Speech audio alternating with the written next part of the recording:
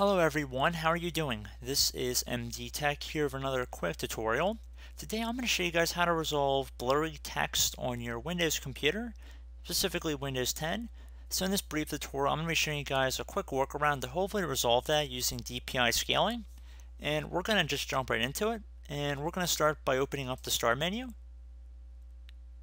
And you want to type in Control Panel.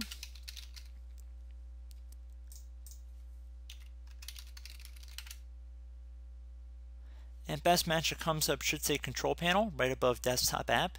So you want to left click on that one time to open it up. And now you want to make sure your view by is set to large or small icons. I'd recommend large icons right up here. And then you want to select display right here. Where it says set a custom scaling level in this hyperlink right up here with this main body of text on the screen, you want to left click on that and then at this point, you can click on sort drop down arrow and you can set it to different percentages.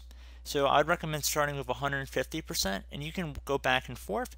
Keep in mind you are going to have to restart your computer after you're done changing it. So you would set it to like 150 for example, and then you click on OK, and then you would restart your computer and then that should hopefully resolve this issue for you guys. So I hope this brief video did help and as always thank you for watching and I will catch you in the next tutorial. Goodbye.